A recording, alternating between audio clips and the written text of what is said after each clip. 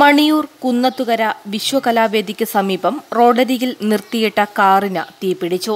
പ്രവാസിയായ മജീദിന്റെ ഉടമസ്ഥതയിലുള്ള സ്ക്വാഡ കാറാണ് തീ വിഴുങ്ങിയത് രാവിലെയാണ് സംഭവം. യാത്ര ചെയ്തെത്തിയ മജീദ് വാഹനം റോഡരികിൽ നിർത്തി വീട്ടിലേക്ക് പോയി പത്ത് മിനിറ്റ് കഴിഞ്ഞപ്പോഴാണ് അഗ്നിബാധ ഉണ്ടായത്. വടകരയിൽ നിന്ന് ഫയർഫോഴ്സ് എത്തി തീയണച്ചു അപ്പോഴേക്കും എഞ്ചിൻ ഉൾപ്പെടെയുള്ള ഭാഗങ്ങൾ കത്തിനശിച്ചു ഷോർട്ട് സർക്യൂട്ടാണ് കാരണമെന്ന് കരുതുന്നു.